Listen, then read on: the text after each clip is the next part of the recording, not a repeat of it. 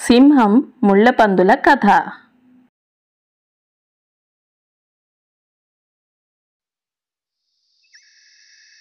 ఒక కారడవిలో బలమైన శక్తివంతమైన సింహం నివసిస్తూ ఉండేది. అడవిలోని జంతువులన్నీ దానిని రాజుగా గౌరవించేవి.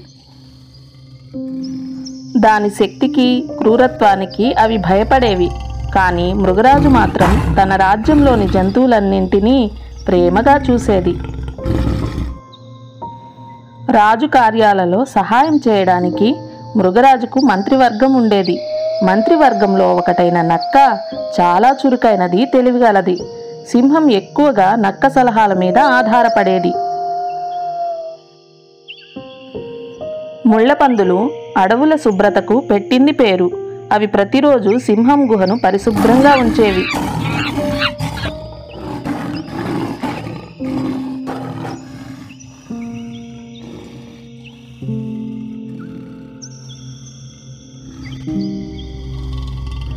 ఒకరోజు సింహం బాగా అలసిపోయి తన నివాసానికి వచ్చింది. విశ్రాంతి తీసుకోవాలని హడావడిలో పొరపాటున ఒక ముళ్ళపంది మీద పాదం మోపింది. ముళ్ళపంది మీదున్న ముళ్ళు సింహం పాదాల్లో గుచ్చుకొని నొప్పిని కలిగించాయి. కాలులో ముళ్ళు దిగడంతో సింహం బాధతో కోపంతో గట్టిగా అరిచింది. ఒళ్ళంతా ముళ్ళతో తన గుహలో తిరుగుతున్న ప్రాణులను చూసి అది తన సహనం కోల్పోయింది. ఎవరు నువ్వు? ఇక్కడ ఏం చేస్తున్నావు?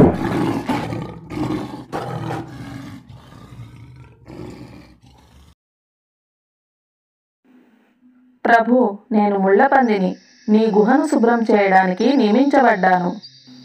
అని సింహం పాదాల కింద నలిగి చావును తప్పించుకున్న ముళ్ళపంది దీనంగా చెప్పింది.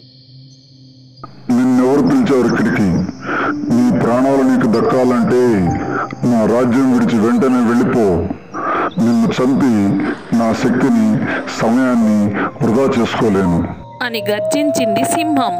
మంత్రి మంత్రి ఎక్కడ? ఈ పురుగును వెంటనే అడవిని విడిచి వెళ్ళమని చెప్పు. అని ఆజ్ఞాపించింది. కానీ ప్రభు మీ గుహను శుభ్రం చేయడానికి ముళ్ళపందిని నియమించాం. అది ఈ పనిని చాలా శుభ్రంగా చక్కగా చేస్తుంది. వినయంగా చెప్పింది నక్క. ఇంకా ఈ విషయంలో వాదనలొద్దు. ఇది రాజాజ్ఞ. వెంటనే అమలు జరిగి తీరాల్సిందే. అరిచింది మృగరాజు. తమరి ఆజ్ఞ ప్రభు తప్పక ఆచరిస్తాను. అంటూ మెల్లగా సమాధానమిచ్చింది నక్క. దాంతో పాపం ముళ్ళపందులు బాగా భయపడ్డాయి. ఎన్నో సంవత్సరాలుగా అవి అడవిలో జీవిస్తూ దాన్ని తన ఇల్లుగా భావించాయి.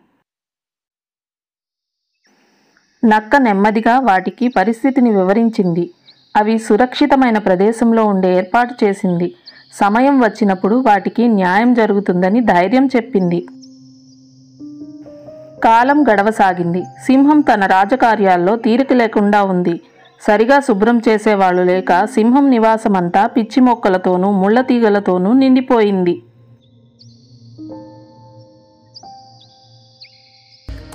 ఒకరోజు తన గుహలోకి ప్రవేశించిన సింహానికి ముళ్ళ కంప కాళ్ళకు శరీరానికి గుచ్చుకున్నాయి. ఎందుకు ఈ గుహ ఇంత చెత్తగా ఉంది? ఎవరు దీన్ని శుభ్రం చేయట్లేదా? ఈ పనులు ఎవరు చూస్తున్నారు? ఎవరక్కడ? అన్న సింహం గాండ్రింపుకి ముందుకొచ్చింది నక్క. ప్రభు క్షమించండి కానీ నేనేం చేయగలను? మీ నివాసాన్ని శుభ్రం చేసేందుకు ముళ్ళపందుల్ని నియమించాం. మీరు వాటిని అడవి నుండి బహిష్కరించారు. ఇతర జంతువులేవి ముళ్ళపందుల్లాగా మీ నివాసాన్ని శుభ్రం చేయలేవు. అని విన్నవించింది నక్క. ఓ అందుకేనా? ఇంత చెత్త పేరుకుపోయింది ముళ్ళ పందులు అంత ఉపయోగపడతాయా? అయ్యో నేను ఈ విషయాన్ని గుర్తించనే లేదే. అవి దేనికి పనికిరావు అనుకున్నాను. సాలోచనగా అనింది సింహం. అవును ప్రభు దేవుడు ప్రతి జీవిని ఏదో ఒక ప్రయోజనం కోసం సృష్టిస్తాడు. ఎవరి పని వాళ్ళు చేస్తూ ఎదుటి వారిని గౌరవించాలి.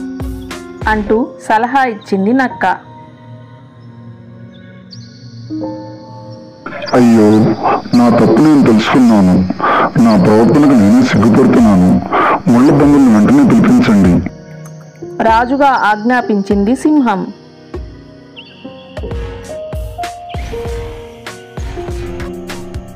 ముళ్ళపందులను వెంటనే పిలిచింది నక్క. సింహం క్షమాపణలు అడిగి వాటిని మళ్ళీ తన రాజ్యంలోకి సాదరంగా ఆహ్వానించింది. అవి సంతోషంతో తమ పనుల్లో నిమగ్నమయ్యాయి.